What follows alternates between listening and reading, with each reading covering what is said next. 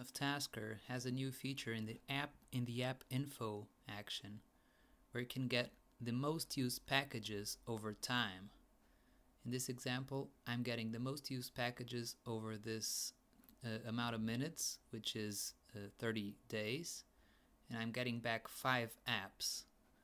So this will get the most used apps, the most uh, used five apps over the, the previous 30 days.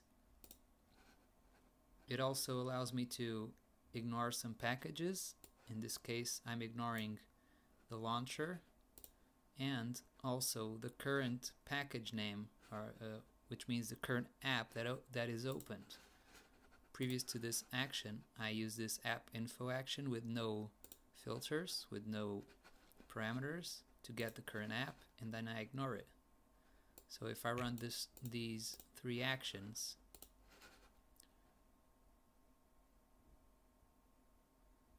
you will see that I get that I'll that I get back this uh, expand expandable navigation bar that allows me to open the most used apps in the in the last month.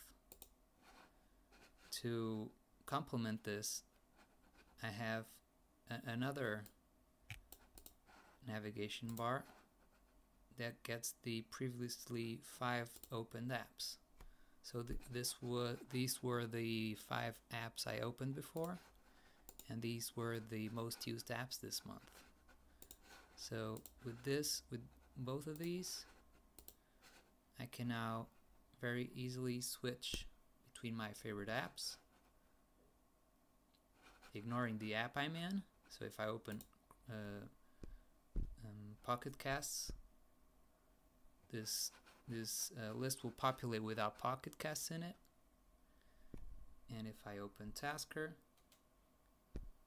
the list will populate without Tasker in it. And here I have the previously five open apps without the current app I'm in.